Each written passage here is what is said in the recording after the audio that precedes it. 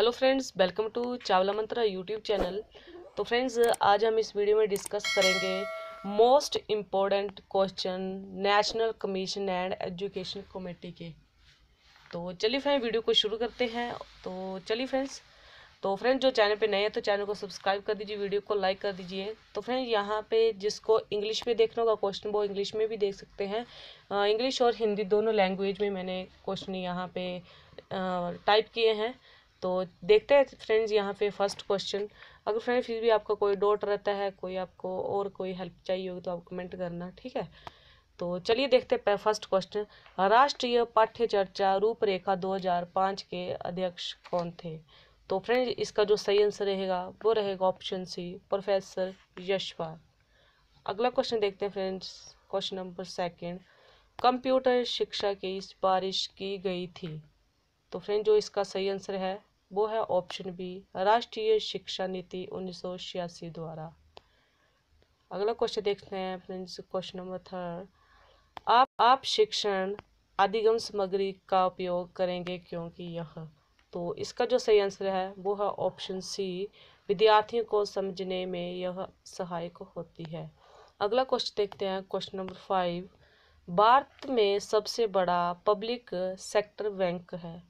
तो इसका सही आंसर रहेगा ऑप्शन सी सही है स्टेट बैंक ऑफ़ इंडिया अगला क्वेश्चन है क्वेश्चन नंबर सेवन शिक्षा व इससे जुड़े हुए पहलुओं की देखभाल कौन सा केंद्रीय मंत्रालय करता है?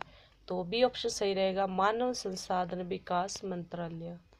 अगला क्वेश्चन है question number eight Wood's despatch प्रकाशित किया गया था.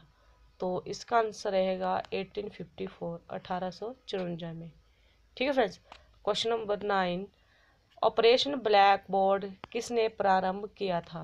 तो इसका जो सही आंसर रहेगा ऑप्शन बी सही रहेगा, राष्ट्रीय शिक्षा नीति। ठीक है फ्रेंड्स उन्नीस सौ छियासी. अगला क्वेश्चन है क्वेश्चन नंबर टेन भारत में अंग्रेज़ी शिक्षा का पिता किसे माना जाता है? तो इसका सही आंसर रहेगा ऑप्शन डी सही है लॉर्ड मेकाले को. अगला क्वेश्चन है क्वेश्चन नंबर इलेवन सेटलर योग का दूसरा नाम है। तो इसका सही आंसर रहेगा ऑप्शन बी कोलकाता विश्वविद्यालय आयोग। ऑप्शन बी सही रहेगा, ठीक है? अगला क्वेश्चन है question number twelve Wood's despatch प्रकाशित किया गया था। तो इसका सही आंसर रहेगा ऑप्शन ए अठारह में एट्टी फिफ्टी फोर में, ठीक है? अगला क्वेश्चन है question number thirteen Navodaya Vidyalaya खोले गए हैं। तो इसका सही आंसर रहेगा ऑप्शन सी प्रतिभाशाली ग्रामीण बच्चों के लिए। नवोदय विद्यालय खोले गए हैं। प्रतिभा प्रतिभाशाली ग्रामीण बच्चों के लिए। ऑप्शन सी सही है। अगला क्वेश्चन है, समावेशी शिक्षा के, से आशय है। तो इसका सही आंसर रहेगा, विकलांग एवं सामान्य छात्रों को समान शैक्षिक अवसर। ठीक है, समावेशी शिक्षा से आशय है। विकलांग एवं सामान्य छात्रों को समान शैक्षिक अवसर। ठीक है, अगला क्वेश्चन रहेगा क्वेश्चन नंबर सिक्सटीन भारतीय संविधान के डैश में शैक्षिक अवसर का समानीकरण प्रदान किया गया है। तो ऑप्शन डी सही रहेगा पैंतालीस अनुच्छेद में, आर्टिकल फोर्टी फाइव। अगला क्वेश्चन है, question number seventeen. N P E दस्तावेज़ में निम्नलिखित शामिल है। तो कौन है ऑप्शन ऑप्शन सी सही रहेगा, बारह भाग शामिल है, ठीक है? एन पी ई दस्तावेज़ में निम्नलिखित शामिल है, बारह भाग शामिल है। अगला क्वेश्चन है, question number eighteen.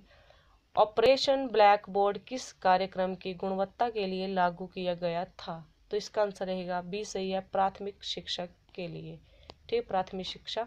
अगला क्वेश्चन रहेगा क्वेश्चन नंबर नाइनटीन किस दार्शनिक ने शिक्षा के सौंदर्यात्मक लक्ष्यों पर बल दिया? तो ऑप्शन बी सही रहेगा गांधी जी ने। फ्रेंड्स, आपको याद रखने ये क्वेश्चन मोस्ट इंपॉर्टेंट क्वेश्चन है, ठीक है? अगला क्वेश्चन देखते हैं फ्रेंड्स यहाँ पे। Question number twenty. निम्नलिखित में से किस योग ने पहले प्राथमिक शिक्षा का विकेंद्रीकरण किया था? तो ऑप्शन बी सही रहेगा, मुदालियार योग ने। अगला क्वेश्चन है फ्रेंड्स ट्वेंटी वन विश्वविद्यालय अनुदान योग के पहले अध्यक्ष कौन थे? तो ऑप्शन डी सही रहेगा professor D S Kothari. Last question रहेगा फ्रेंड्स एन का मुख्यालय स्थित है। तो फ्रेंड इसका आंसर आपको कमेंट में बताना है, एन का मुख्यालय कहाँ पर स्थित है? बेंगलोर में है या जयपुर में है या नई दिल्ली में है या अहमदाबाद में है? तो फ्रेंड आपको कमेंट करके बताना है कि कहाँ पे है। और फ्रेंड्स ये मेरा दूसरा चैनल है, जिस चैनल पे मैं ब्लॉग अपलोड करती हूँ तो फ्रेंड्स आप इस चैनल को प्लीज़ सब्सक्राइब कर दीजिएगा। इस चैनल का नाम है भवानी चावला। आप इसको यूट्यूब में सर्च करके भी सब्सक्राइब कर सकते हैं। वैसे मैंने इस चैनल का लिंक इस वीडियो के डिस्क्रिप्शन में दिया है। तो फ्रेंड प्लीज़ सब्सक्राइब कर दीजिए और बेलाइकन को भी ऑन कर दीजिएगा। ये मेरा ब्लॉगिंग चैनल है।